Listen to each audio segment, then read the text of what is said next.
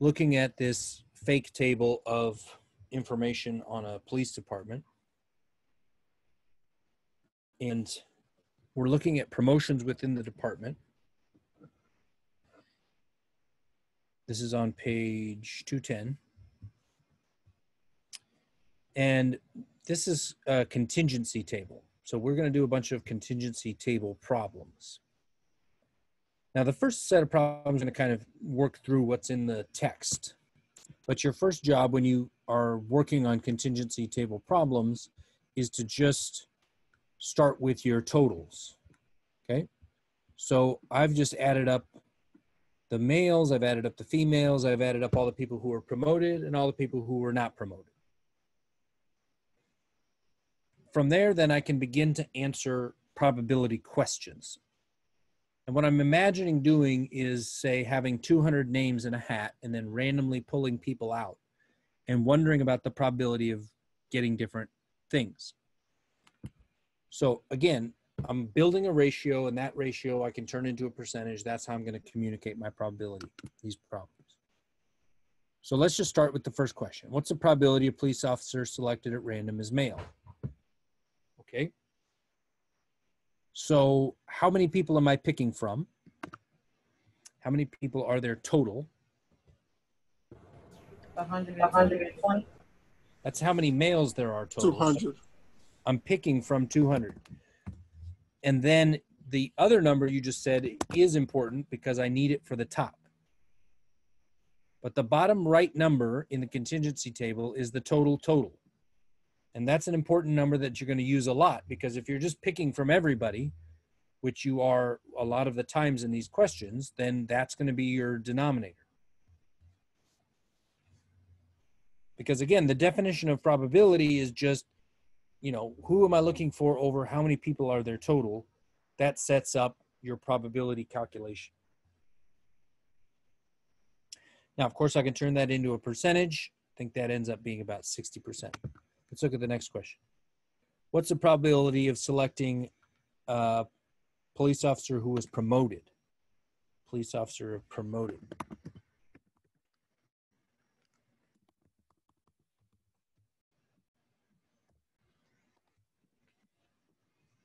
That would be 150 over 200.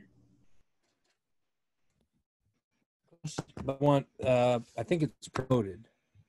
Yep, Oh, I see. 50. 50, right. Okay.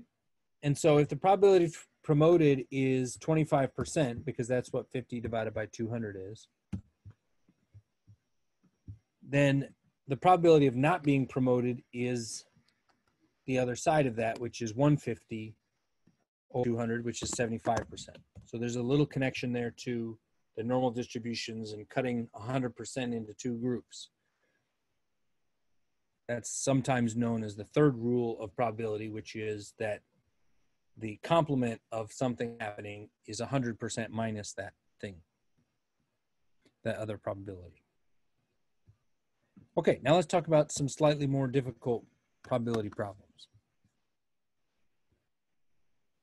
Find the probability of selecting an officer who's a woman and promoted. A woman and promoted. Woman and someone who is promoted. So 20 over. um,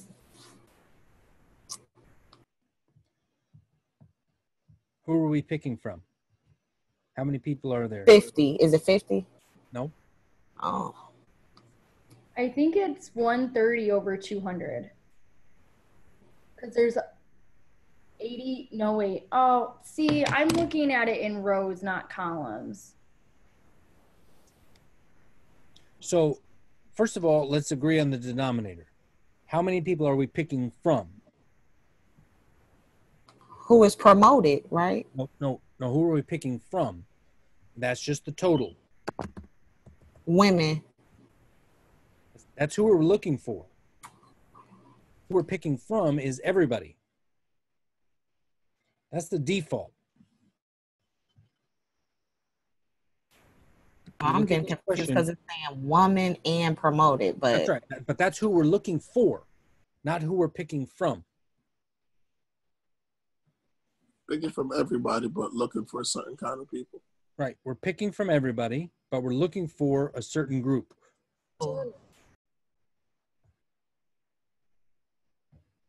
So the 200 is still the denominator. It's been the denominator for every problem we've done so far. Oops. And the 20 is the right numerator because that's how many women were promoted. That's a small group out of the 200. I'm not interested in all 80 of these women because some of them were not promoted. And I'm not interested in everybody who is promoted because some of them aren't women. I'm only interested in women and promoted. So that would turn into 10% when we do the calculation. Okay, try the next one. A man who was promoted. A man who was promoted.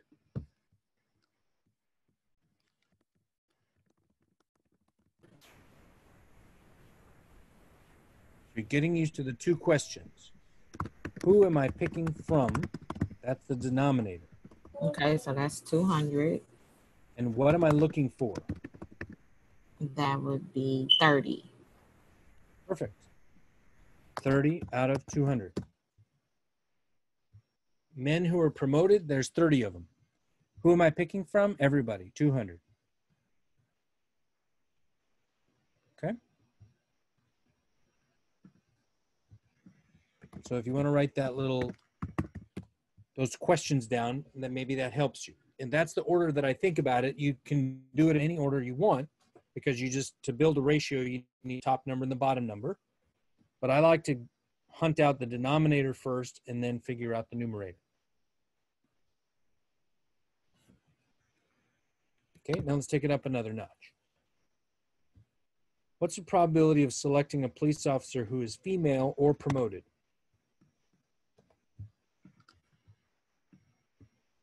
Female or promoted? I have a question. Yep. Do we have to do two separate problems for that? Is it 20 out of 50, 20 over 50? Nope. Nope. Fifty over two hundred. Right. Mm, halfway right. Let's start with the first question. Who who am I picking from? Females. Everyone. Said everyone. women. Everyone. Every yeah. Yep. I didn't say who am I looking for. I said well, who am I picking from? Now we are Now, going we to are do a type of question where we're not picking from everybody. But I hope you've noticed so far we've always used 200 as our denominator. That's m- the most likely thing to put.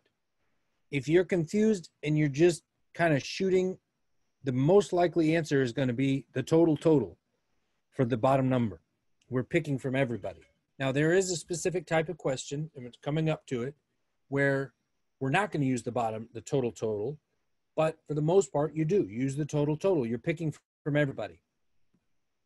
Okay, next part. Who, who am I looking for? Females. Females. Okay. All promoted. or they were promoted. All right, here's my example. Let's pretend that I'm letting people into my nightclub. All right? Ben's nightclub.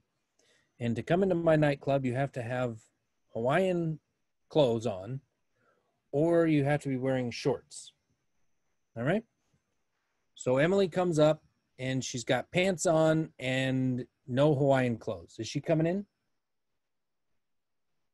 No. No, she can't come in. Okay. Now Roderick comes up and he's got a Hawaiian shirt on. Is he coming in? Sure, he's coming in. Leah's got shorts on. Is she coming in? Yes. And then Karen has a Hawaiian shirt and shorts on. Is she coming in? Sure, she's got both things. I don't need both things, but she's got both things. It's great. Okay. So the only person who can't come is Emily because she forgot her Hawaiian clothes and her shorts. The point of an or statement is that it's more inclusive. You can have this, or you can have this, or you can have both things. I don't care. but you need to have one of those things to get through the bouncer. Okay, now let's let's think about that in regards to this problem. I'm looking for females or I'm looking for people who are promoted. Do these people get to come in? Yes, because you Yes, looking for yes. either or. That's right. Do these people get to come in? Yes, because they promoted, right? This group No. No, no. not promoted and and male. This group, yes, this is the both, and then this group, yes, because they're female. Even though they weren't promoted, they're female, and that's fine. That's come to my party. Okay. So the total then is actually 110. It's not any of the numbers in the table. You have to do a little bit of math to get it. Now, when you watch, if you watch the videos on section 16, she'll present a different way of doing it, which leads to the same answer, which is fine. I like this because you can just kind of work your way through every category and figure out who's part of the in group and who's not. This is one of the harder problems because you got to think about it hard in terms of who's coming and who's not coming. Who am I who am I pick who am I looking for? Right? Who makes me happy? What's a success? Okay, so it's time to practice. We're gonna we're gonna hold off on this last type, and we're gonna look at a table here. So I've given you a table. It's got a few more rows and columns, but that doesn't change the essential thing that you're doing, which is trying to make ratios.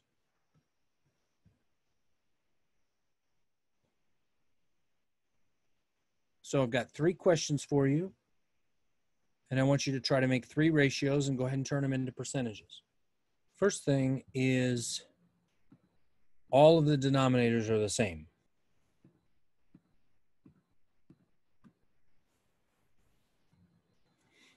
What is the denominator for all of these fractions? 379. Good.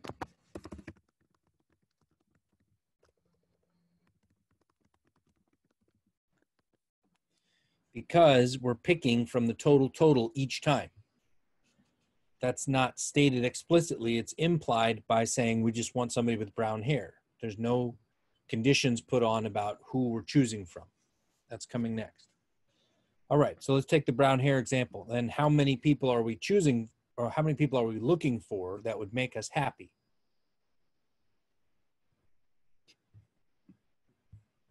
I know we're choosing. I know we're choosing 379. 129. Good. 129 out of 379. And that percent turns out to be 34%. You need to do, you should practice doing both of these parts. Don't just put it in your calculator, turn it into a percent, and walk away. Because if you don't get the percent right for any reason, and I can't see your ratio, then I can't give you partial credit for it. If you got part of the fraction right, I can give you some partial credit for that. Okay, what about the next one? I'm looking for somebody with red hair and who makes over $40,000 a year. It's 15. There's only 15 of those people. 15 out of 379. And is restrictive. I need more things to be true in order for and to work. All right, this is the hardest one. Under 20,000 or black hair. Under 20,000 or black hair. Now you might be tempted to shortcut and just take 89 and 177 and put it together. But that doesn't work, and I'll explain why. I want everybody in this column because they're making under 20,000. And yes, there's 89 of those people. Then I want everybody in the black hair row. So I also need these people and these people. And yes, those three numbers add up to 177. But these five numbers don't add up to 89 plus 177. What do they add up to?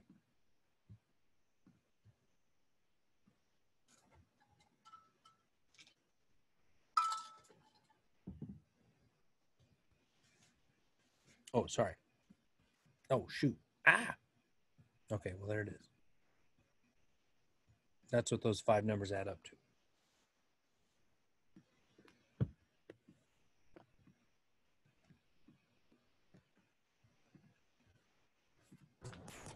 Is it two twenty one? Yeah, good. So 221 out of 379, that's 58%. Okay, I feel like I'm missing something super basic. Why do I get that? Why do 89 and 177 not add up to 221? Right. Yeah. Because it double counts these people. So the way that Becky explains it, you take the 89 to 177, but then you have to subtract the overlap. So that's one, a different way to get to 221.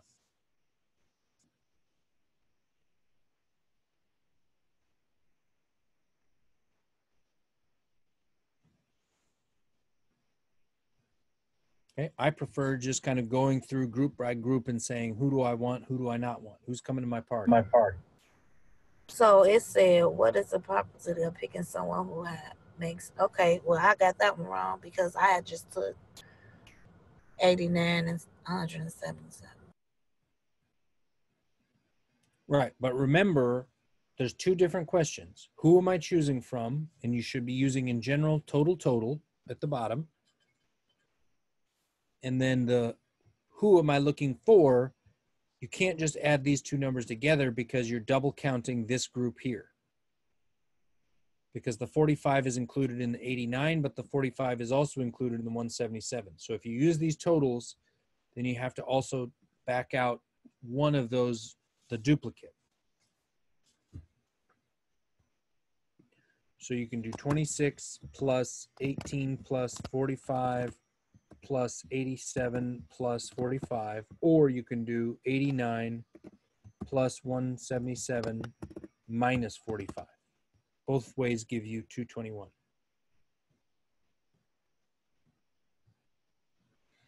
All three of these questions have the same kind of denominator, which is the total total.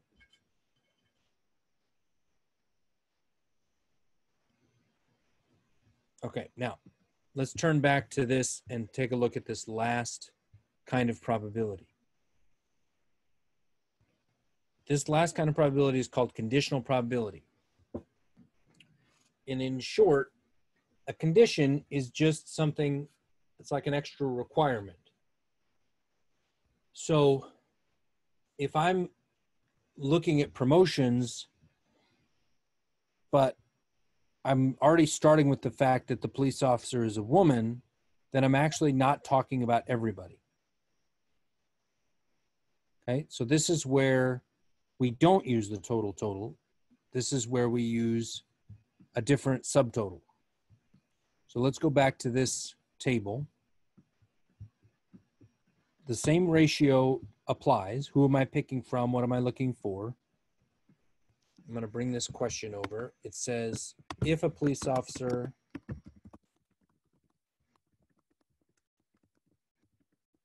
what is the probability she got promoted?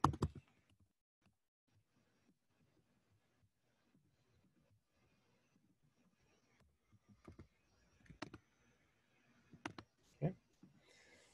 I just changed a few words, but it's basically the same idea. All right, now, as we're building this ratio, I still approach it in this order. Who am I picking from? What am I looking for? But the key part that's changed this question is the first part of the sentence. If a police officer is a woman, if a police officer is a woman, I don't care about this line, and I don't care about this line. This is all I care about. So who am I picking from?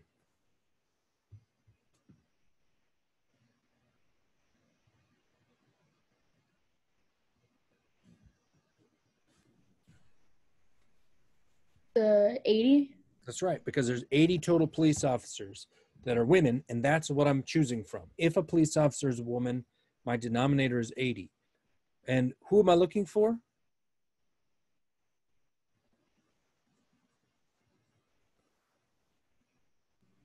Twenty.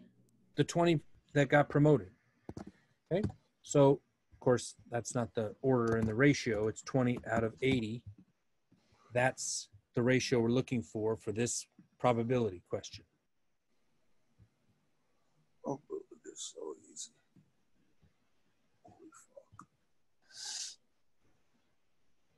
Okay, so this is the basic concept of a conditional probability. We're looking at a subgroup, so the denominator is not the overall total, but the What is total of 20 the over subgroup 80? Isn't that like 25%? It's 25%. That's right. I hate you. Okay, so what changed is there was a part of the sentence or a part of the question that indicated or implied that we were not talking about everybody.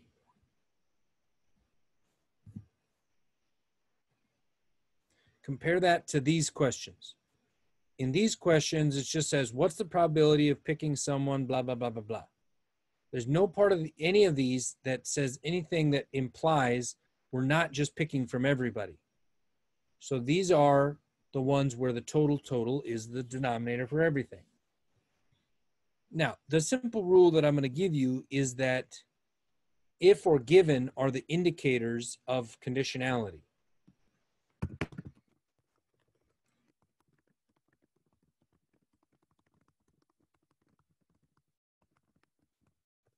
And by that I mean if you see if or given in the sentence, it means that we've got a conditional probability and therefore you're not looking at the whole table.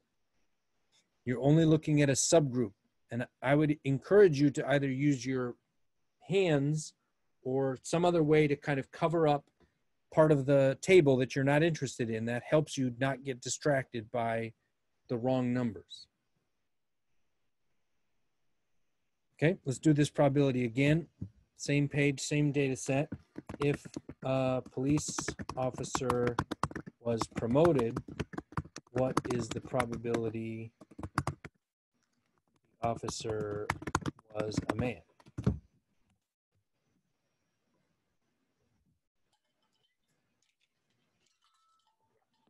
Sorry, I need to give you your full table back. But feel free to cover up the parts that are not relevant for this problem. This is a conditional probability question. Okay, let's start with who you're picking from. I need to block out the parts of the table I'm not interested in. What's the part of the sentence that's telling me about the part of the table I'm interested in?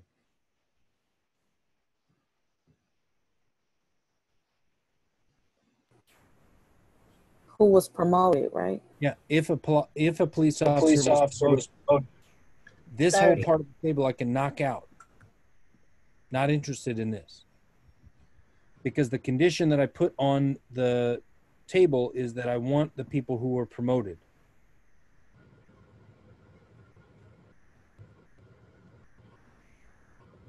Okay, 50. so that means 50 is my total, and that means I'm looking for 30. 30 men. So that's 30 out of 50, and 30 out of 50 is 60%.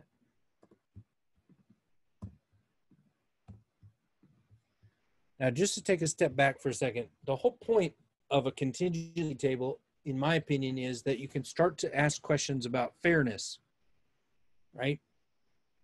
The problem with lots of institutions in this country is that they started off not being inclusive, whether we're talking about race or whether we're talking about gender, right? Police policing used to be a profession that was male dominated. I don't know if that's still true anymore, but one of the problems as you become more inclusive and you say, hey, there's no reason why you have to be a man to be a police officer, is that if the police officer hierarchy is dominated by men, it may be hard to make sure that things happen fairly in terms of promotions or in terms of reprimands or punishments or whatever. So this is a way of thinking about those questions and thinking about fairness. Okay, let's try back to the hair and income. So these are all conditional probabilities because they all have the words if, if or given in them. In the first one, I highlighted the conditional part of the sentence, and the other two, you have to identify what it is. I recommend you follow the, the structure of asking about who you're interested in first and then identifying the numerator afterwards. But you can attack the problem any way you want.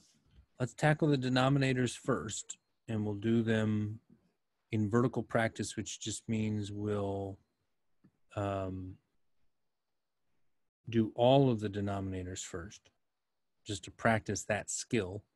Then we'll circle back and we'll do the, den- uh, the numerators of each one. Now, I highlighted the conditional part. It's given that you're interested in black hair. If I'm interested in black hair, I'm not interested in these people. And I'm not interested in these people. So what's my total? One seventy-seven. Exactly. Okay. I'm gonna let you do the next one. You pick someone who made under 20,000. So what's the total? One sixty-one.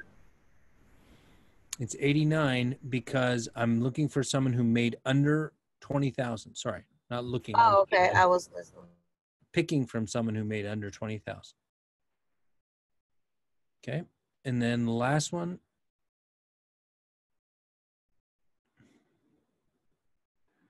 It's a little tricky. I got two ninety. I don't know. Very good.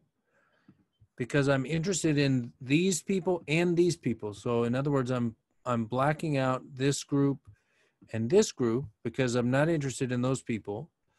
But there's two totals here that I need to bring together, and that makes 290.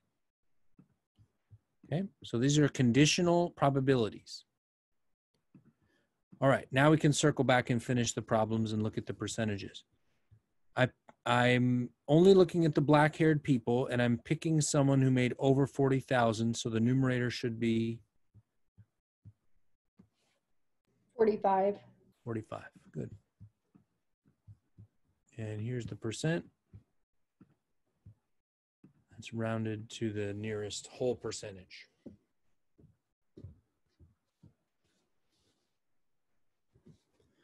Okay. Someone who made under 20K, so I'm picking out of this column, but I want someone who has red hair. 26. Very good. Okay. So that's 29%. Again, you're just dividing, turning it into a percentage. And last but not least, brown hair in the two groups that I'm interested in would be 111. 111, which is 38%. Okay. Okay, now let's mix it up. I'm giving you a hint here because I am providing you with a highlighted keyword that shows you which one is a conditional probability, but the other ones are back to the other probabilities that are not conditional. So one of the things that happens as soon as we start talking about conditional probability is everything we've learned about the total total goes out the window. But remember that the total total is the most common number that we're going to use here. All right, I'm to give you some time to work on those problems. Okay, let's talk denominators.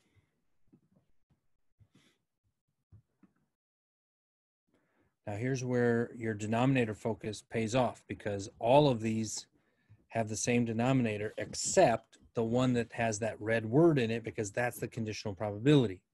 So what's the denominator for all of these other ones?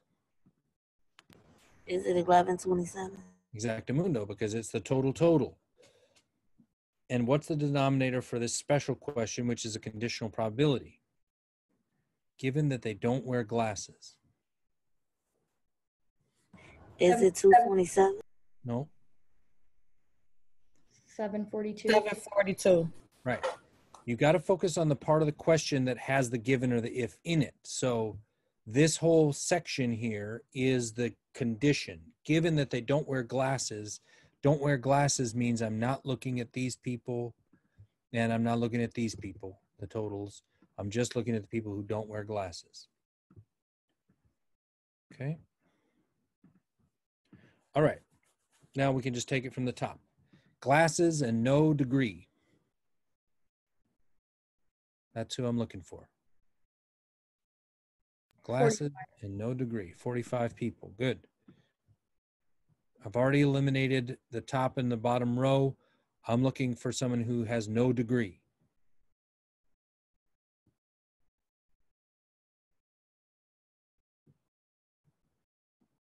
Is it two twenty-seven? This is why the blocking out is important because you wouldn't be saying 227 if I had this properly blocked out. That's gone and that's gone. I'm interested only in the people who don't wear glasses. So now what do you say? No degree. One eighty-two. Exactly. Okay. So use that strategy. You don't have to scribble things out. You can if you want. You want to leave it to the end and then do the scribbling, you can, but well, of course, this is on a computer screen, not on a piece of paper. So it might be easier just to use your hands and just kind of cover the parts up you don't want. Okay. Uh, bachelor's degree or higher. Five sixteen. Good. Because I want anybody with a bachelor's degree or higher. I'm not, I don't say anything about the glasses. So I'm interested in everybody who has a bachelor's degree or higher. That's 516 out of 1127. And finally, picking someone who has an associate's or doesn't wear glasses. In some ways, this is the hardest one or the second hardest one. I probably have to look at the statistics to see what people got wrong.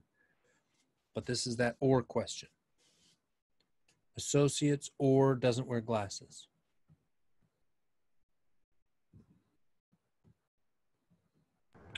Would you add forty-five with one hundred eighty-six? Nope. Let's just go through. There's six groups, so let's just go through each group and say whether they belong or not. Am I letting these people into the party? No. Do they meet No. either either conditions? No. No. Oh. Mm-mm. What about these people? Yes. Because Yes. They have an associate's degree. What about these What people? these? people?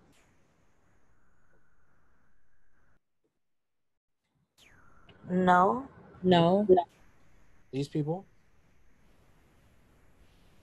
Yes. That's right, because they don't wear glasses. These people meet both requirements, and of course they're coming. And then these people,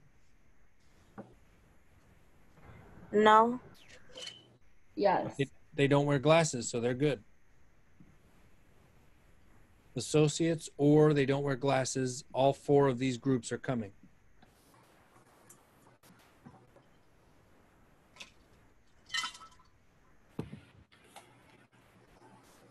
So what's that add up to?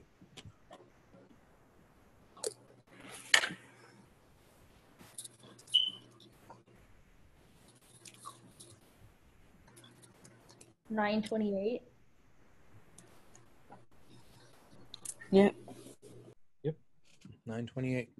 Okay, here are the percentages, just so you want to check and see that you got those right, because that's another part of the problem.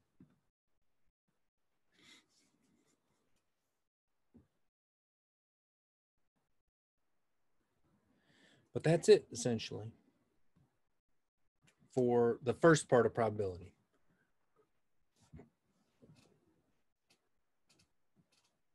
Now, those set of questions all you know tend to be 10 to 12 percent of your, the final exam. So it's a it's a good block to focus on. Would you mind explaining the overlap thing just one more time? Well, if you're going to do it overlap you would do 742 plus 384 but then you have to take out the group that gets counted twice. And which group is that 198. Right. We're not taking them out totally. We're just we're just accounting for the fact that 198 was counted twice, so we're taking out the duplicate. So if you add that up, that comes to 928.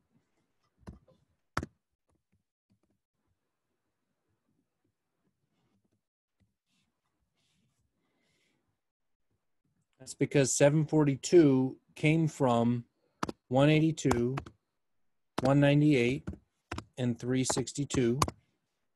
And 384 came from 186 and 198. So if I put all five of those together, I'm double counting the 198, right?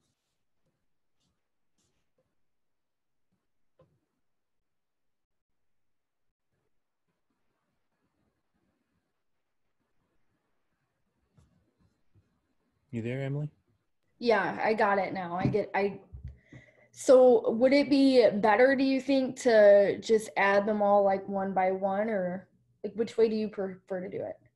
I, I prefer the one by one approach, but mathematically, it's faster to do the totals minus the overlap, especially if there's a lot of groups. Right. Okay, I get it now. Okay, Okay. so the last hour I want to spend on the other type of conditional probability question, which has some nice connections with our moment in time because of the pandemic and testing. Testing is such a big issue. False positives and false negatives are back in the news. So, in the conceptual thing, that you want to understand is that when a person takes a test for a disease, there's a chance that you could get an answer that's not actually right. That shouldn't be surprising because anybody who's lived for any amount of time has either been involved in a pregnancy test, false alarm, or known somebody who was involved in one.